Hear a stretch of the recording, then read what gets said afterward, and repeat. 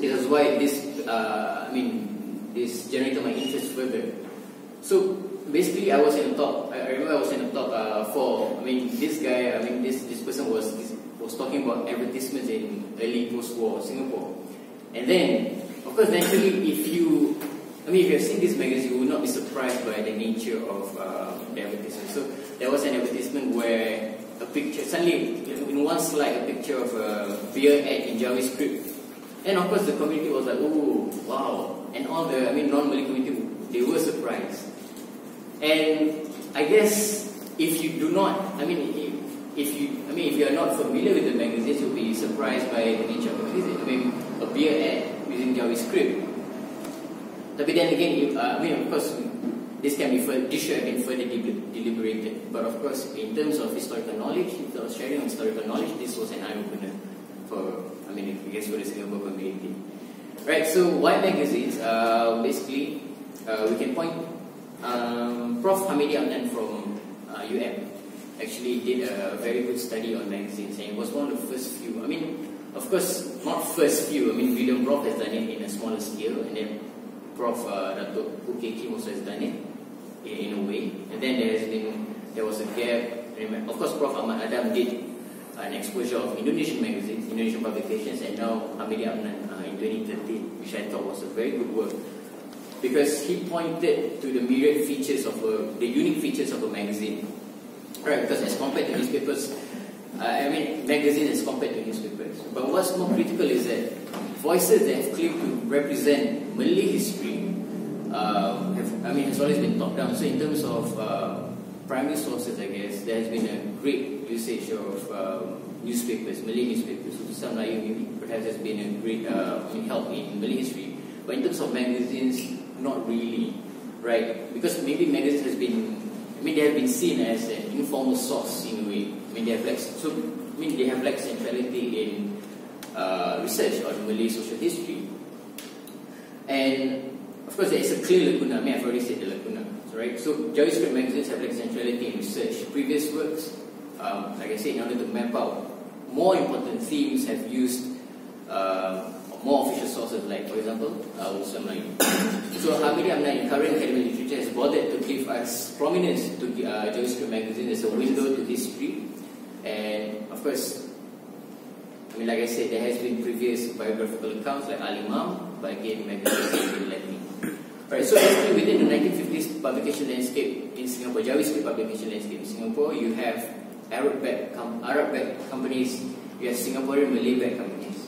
And then, like so all of these companies were central in articulating issues about decolonization, independence, societal awakening, even uh, global news with regards to newly independent states like Indonesia back then, and of course, uh, even uh, talking about intellectual Islamic discourse from Egypt and Turkey. So, of course, um, right now, I mean, we don't have, I mean, a lot of uh, Singaporeans don't have access, I mean, or rather don't have the capability to read Jawi in depth in, in such a manner. So there is a gap into understanding how magazines have used their content to understand, to re-understand, and to conceptualize and articulate certain issues. Right, of course, um, in magazines there's a, um, there's a slight informality to their approach, right? So uh, you have uh, various columns, you have uh, import, you have editorial, you have letters from readers, and different columns to showcase the freedom of thought, the degree of thought from various members of the public, tak kira uh, class or your position in society. And magazines, as for mentioned, is a wealth of magazines, and I think, I mean, in terms, I mean, it's not just limited to Kalam or but I mean, there is an avenue for Singapore, uh, for Singaporeans to do this. Okay, so um, so Timothy Barnett and John Putin, they, they have written briefly that post-World War II writings in Singapore could be considered cosmopolitan journalistic activism. Uh, journalists and writers were espousing a potent, uh, were espousing strongly for nationalism and independence, and were increasingly becoming a potent force against uh, against colonialism. Of course, it is indeed evident that uh, most publications emerged out of a need to represent, and in the wider sense of the term, because it's vague. And most uh, publication presses, including my own case study Kalam, uh, started out to be a voice that the community needs, or they claim that the community needs, right? And then, although, the, but of course, the notion of voice is vague at this point, and it can be observed that most publications intended to be alternative narratives to contemporary status quo. And one may ask who were their opponents, considering that these publications wanted to speak out. And while the narration and then the manifestation of ideas within public publications can be interpreted in a variety of ways, um, the trajectory of editorials, their strategies, correspondence letters from readers, and subscription rates offers us into a peek into the publications and their reception. Okay. Um, of course, uh, I did a table of the various magazine publications in Singapore, and this is not new because Prof. Kuki Kim has done it, but he has done Uh, in terms of Singapore, Malaysia. Prof. Ahmad Adam has also done in terms of Indonesian timeline. But I did a table, and I can I can safely I can safely argue that Singapore was rife with one different types of magazines, right? Two different motivations for publishing, and three, of course, there is a demand. Some magazines lasted for a decade, some lasted for just a few years.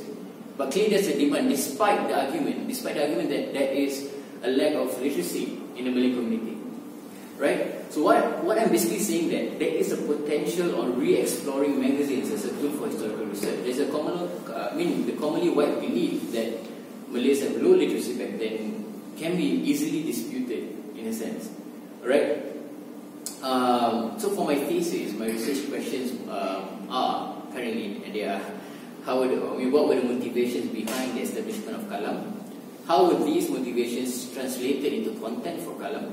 And how did the post-World War II community, uh, Malay community, receive Kalam? Right, the concepts which I try to uh, try to try to find out, or rather, the concepts which I, I mean, the central concept.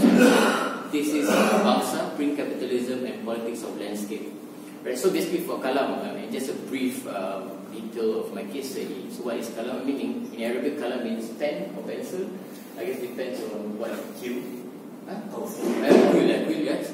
Um, yeah, basically, that, I mean, uh, my thesis, my, my title for my thesis is the quill of kalam. So basically, the, the pen of the pen. I don't know, I guess. So the first issue of Kalam magazine um, came out in July 1950. It was published by a man named uh, Said Abdullah bin Hamid Al Idrus, more commonly known as Idrus and his pen name Ahmad Lutfi. And in 1951, Kalam Press was formally established. Um, I mean, of course, they have been published since 1950, but they were using other presses. Right? Um, at their peak, they were hitting numbers of up to 30,000 copies per month. Per month, 30,000 copies. And um, this monthly periodical reached to places as far as Patani and even Penang. And Penang could have been was far. Singaporeans back then. In Singapore, Kalam was distributed by bicycles. Uh, that's what they said. One, one of the few things was bicycles. Its last issue, I mean, of course, it ended abruptly, in my, in my opinion. It ended in October 1969. And throughout the existence of Kalam, um, Kalam published other short novels and newspapers.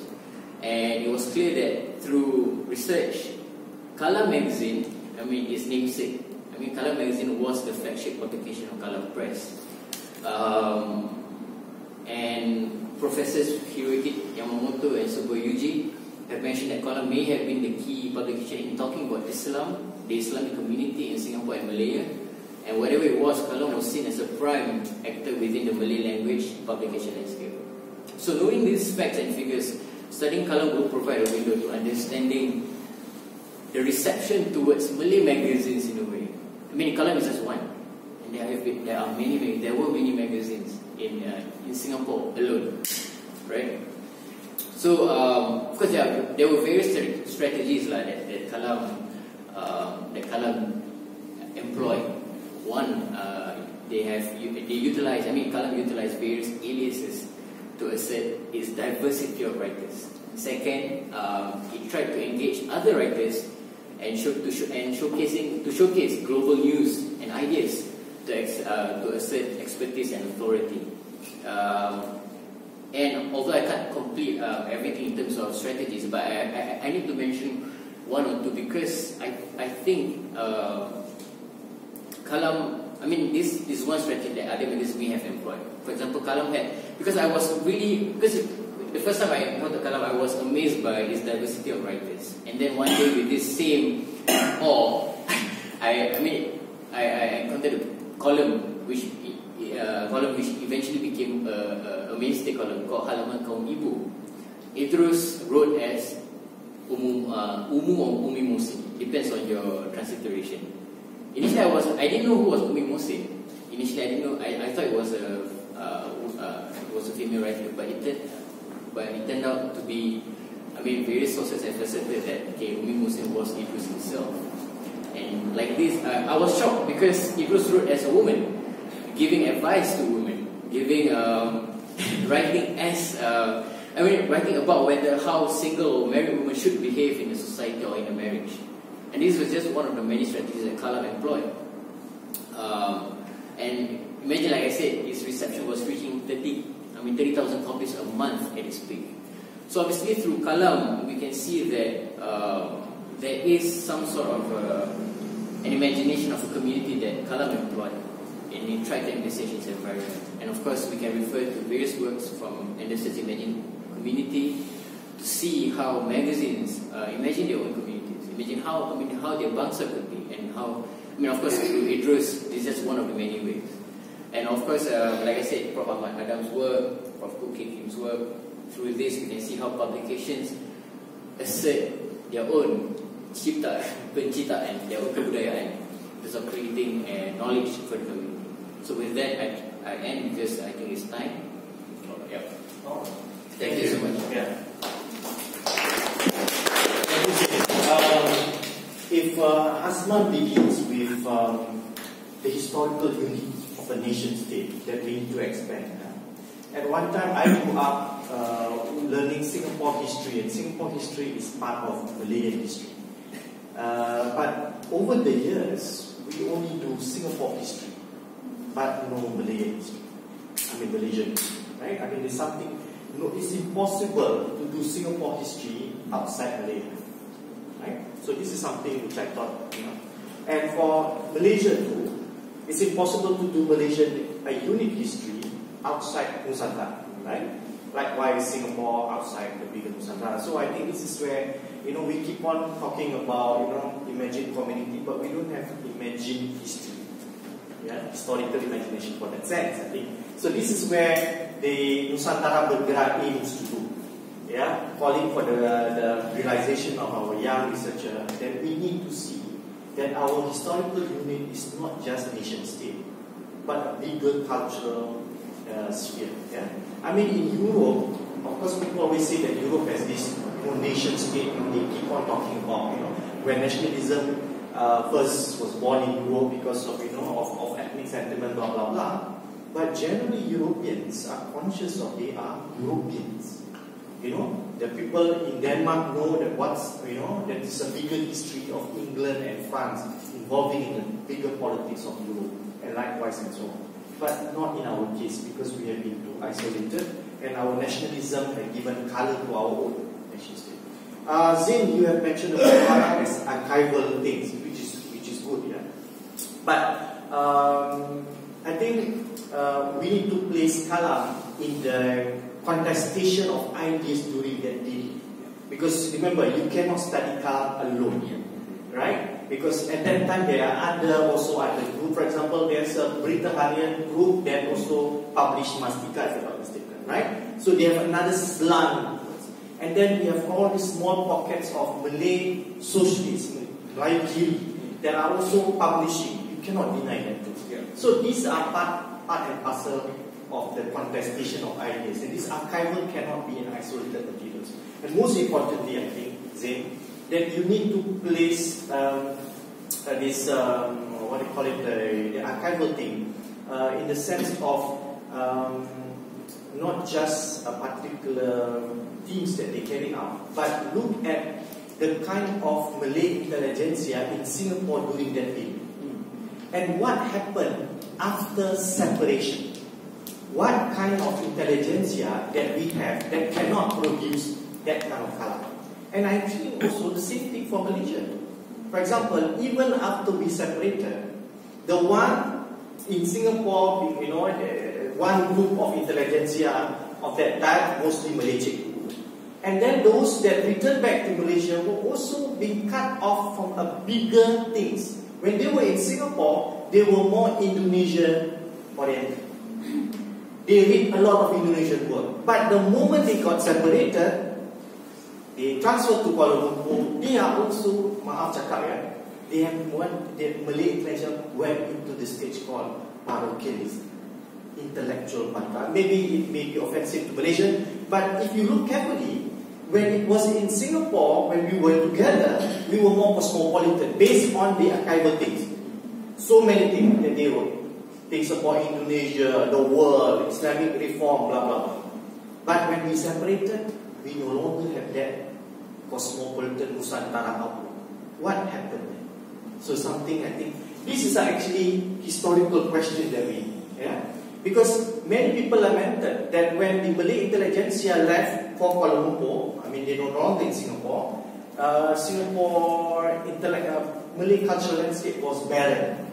Yeah, while you can understand because most of them are Malay cikgu, right? And Malay cikgu are mostly primary school teachers, right? So the kind of discourse they, they took up are also very limited, right? Uh, so this is where something. All right, uh, we can discuss more, and then I actually want to give to Hasnan, but when I look at it later on, I'll be accused that oh no, Germany is the only uh, female speaker here, you know, and then you know I should be put last. I better not do that. All right. So now it's Devon. All right, your turn. And she's from UKM.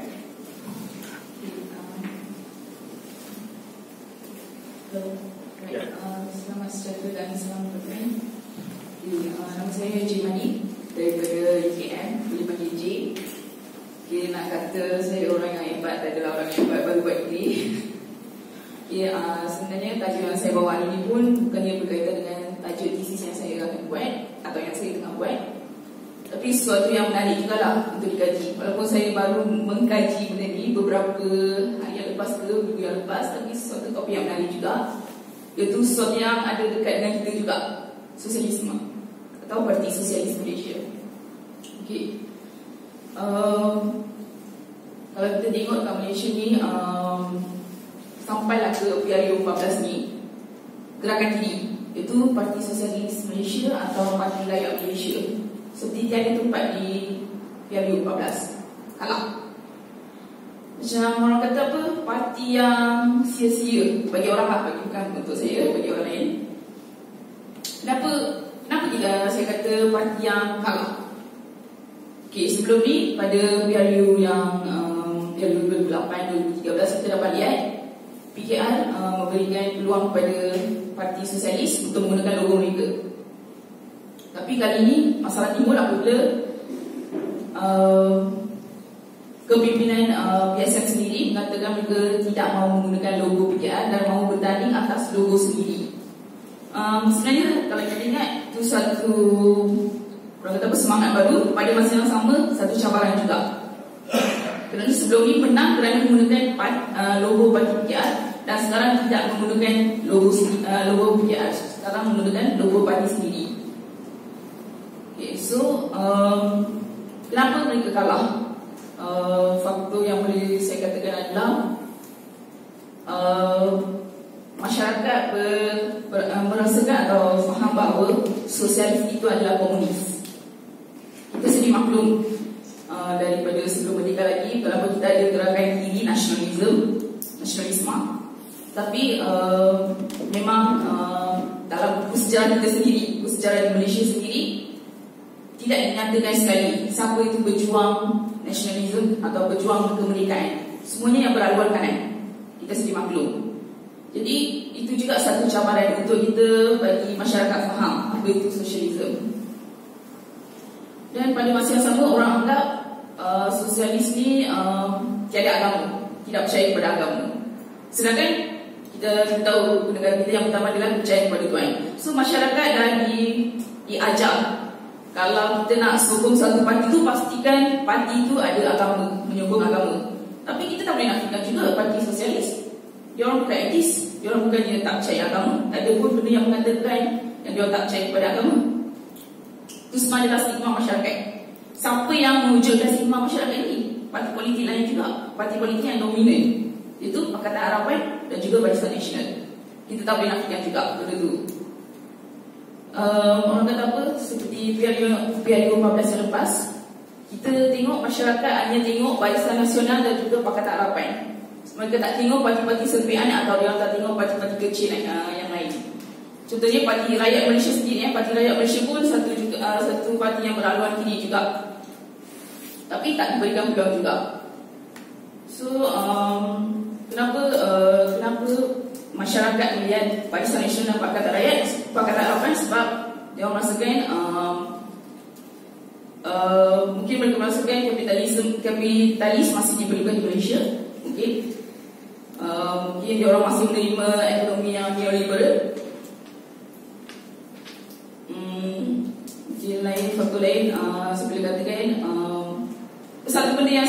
fikir jugalah um, sebab macam Dr. Jay Umar yang bertanding di Sungai Siput dulu dia buat kerja, gerak kerja dia di Sungai Siput tu hampir 30 tahun. Hampir 30, 30 eh, tahun menurut pembacaan saya. Tapi kenapa dia beliau tidak boleh menang? Kenapa? Macam benda tu sebenarnya kita rasa kelakar. Kenapa masyarakat kita ni tak boleh nak faham ke? Masyarakat kita ni susah sangat dia nak faham yang sebenarnya parti aluan kiri pun boleh membuat sesuatu untuk masyarakat jadi saya saya rasa sebagai uh, seperti yang saya maklumkan tadi parti-parti dominan ni yang sebenarnya membadurkan masyarakat dan mungkin saya kata, uh, mungkin saya boleh kata kurangnya golongan intelektual juga kalau ada pun hmm, saya uh, mungkin kroni ke yang mengamalkan nepotism yang selalu menyokong parti-parti dominan saja. Uh, kalau kita kata uh, PSM ni uh, tak sokong wanita langsung tak boleh juga macam contoh, uh, contohnya boleh katakan. Sebenarnya saya ada slide tapi uh, slide tu tak dimainkan pun saya okey je. Saya dah tahu. Okey, macam kita dapat lihat. Okey, uh, senarai dun eh, yang ditandingi PSM dalam Piala 2014 kita, kita, dapat, kita dapat lihat ada tiga wanita Tiga wanita yang bertanding. Dan lagi satu persepsi yang uh, negatif juga terhadap PSM adalah Parti ini kononnya parti orang India. Sebab majoriti orang yang selalu Orang kata apa, menolong masyarakat yang selalu menjadi kepimpinan Orang India. Sedangkan tak pun, sedangkan Presiden PSM sendiri, orang lain sendiri. So benda-benda kecil ni sebenarnya yang efek undi PSM kali ni Kalau kita tengok uh, uh, jumlah undi Contohnya uh, dari sembunyi lah, dua sembunyi. Last, uh, last period kita dapat lihat 10,000 ke atas undi dia. Sekarang jumlah undi dia pada, pada period 14 1,263 saja. Kenapa berlaku macam ni? Sebab tak gunakan logo PKI jadi tu undi tu undi tu pecah dan orang rasakan bahawa sebelum ni